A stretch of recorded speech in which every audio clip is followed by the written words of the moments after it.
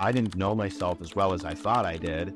I don't feel like I have a mask up anymore. I feel like I'm being my true, authentic self. And I, I realize that that energy is reciprocated tenfold when I am my authentic self. You taught me a lot of patience, the importance of waiting, the importance of not responding right away and making meaningful communication happen face to face or over the phone instead of over text. If your puzzle piece is mismatched to somebody else's puzzle piece, doesn't matter how you love them or the way that you try to portray your love, if you guys aren't meant to be, it's just not going to feel right.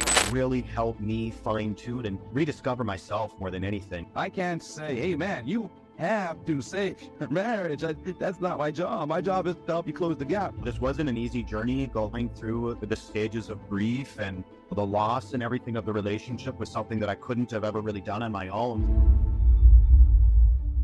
filling you in on where I'm at with my marriage right now. So obviously that was the kind of the central thing that brought us together. And after going through the first two stages of the program, uh, David, I keep remembering, I think it was the first time that you and I talked about the triangle, unlocking or discovering your higher identity, living by your higher identity, and then unlocking Nikki. And I keep thinking about that triangle and how I moved through the process. And the first two sections of discovering my higher identity and then living in my higher identity were by far some of the most beneficial bits of training or comprehension or any sort of advice or anything along those lines that I have received in a very, very long time. And I think that the first eight weeks of the program or so really helped me fine tune and rediscover myself more than anything. I think something that I told a friend of mine is that I feel like I knew who I was for a really long time. And after going through the program, it made me realize that I didn't know myself as well as I thought I did. And I was carrying myself in a way that I didn't really like.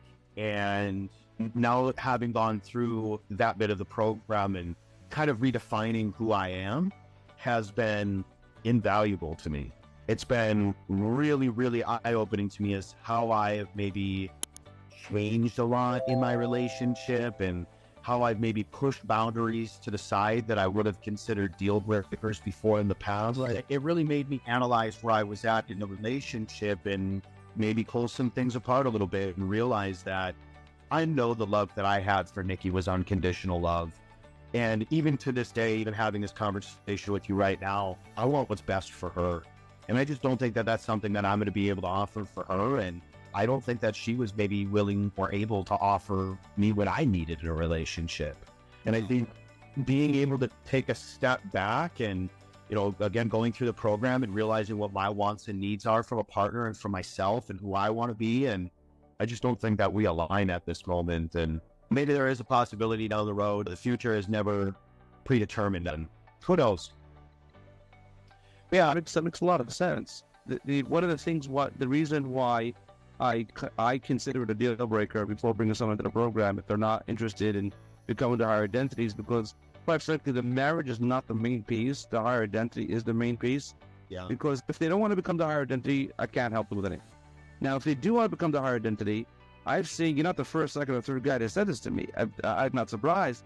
And that's why I drill you in the first 10 of like eight years. You don't have any kids together there's certain warning signs there. At the same time, I wasn't going to not give you an opportunity to become your identity because you were in so much pain.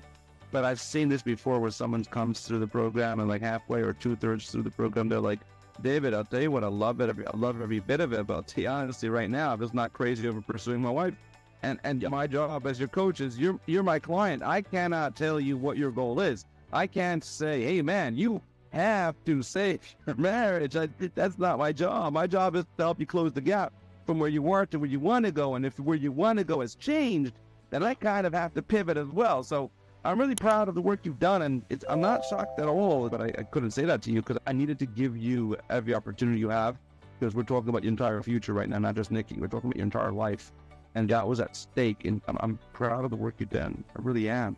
I'm proud of the work that I've done. I know that this wasn't an easy journey going through the stages of grief and the loss and everything of the relationship was something that I couldn't have ever really done on my own. So having AMFT as, like you mentioned, a way to bridge that gap, again, invaluable. I, I think that I would have chased a lot more. I would have bothered Nikki a lot more to the point where it would have fractured our relationship even more. So you, you taught me a lot of patience, the importance of waiting, the importance of not responding right away and making meaningful communication happen face to face or over the phone instead of over text. And at the end of the day, I know that even if Nikki isn't the one that's going to benefit from this, I benefited from this greatly. And I don't regret spending a penny on the program. I've thought about that a lot as I was going through this. I was like, do I really feel like I wasted any money? And if I don't pursue her? And the answer I kept coming back to was not even a little bit.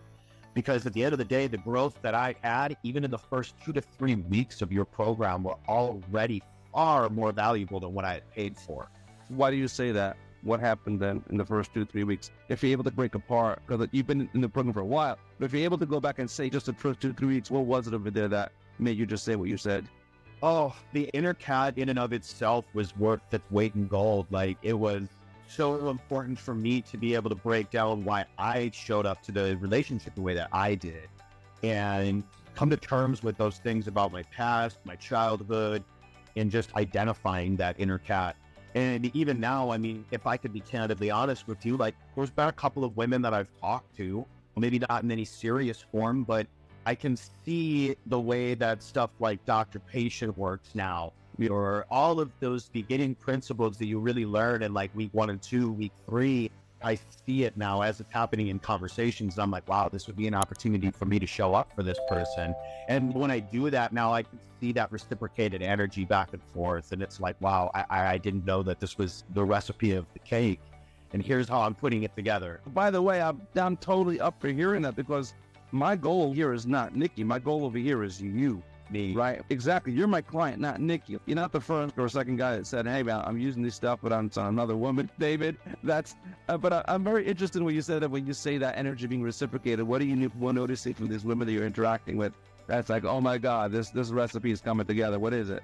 So there's one woman that I've been talking to a lot in particular. We actually do have a history with each other that predates me and Nikki, but it never really worked out. And then we reconnected somehow very randomly and what I mean when I say that reciprocated energy is it's almost like she's holding up a mirror. When I am putting out the, the, a specific energy, when I talk about the things that I've had going on in my past or what's gotten me to the point that I'm at, I mean that she holds a mirror up and that she will throw it right back to me. She feels comfortable and safe being able to express what she's gone through. And that's something that she even says like she's never had that with somebody else before, where she felt like it was that stage of the day. That's what I wanted with Nikki for the longest time was to be that safe space. And what I realized now is that relationships are very much so like a puzzle. And if your puzzle piece is mismatched to somebody else's puzzle piece, doesn't matter how you love them or the way that you try to portray your love. If you guys aren't meant to be, it's just not going to feel right. And I'm not to say I'm not saying that that's what the situation was for me and Nikki, but experiencing it now with somebody different, where it's like, wow, the puzzle piece just feels like it fits flawlessly. Like, how does that happen? And being in a relationship for the last nine years, I'm like, wow, I feel like I was trying to fit a round peg through a square hole for a while. I feel like I found the the right puzzle piece now. I'm not saying that this is it for me, but it's just interesting seeing a different perspectives it definitely is. And it's touching to hear you describing it because it really makes me happy to see you applying this and seeing success with another woman. Success is not like a black and white thing, it's in degrees. And the interesting thing, though, just to note, it's not just the puzzle piece fitting, it's also your own puzzle piece changing.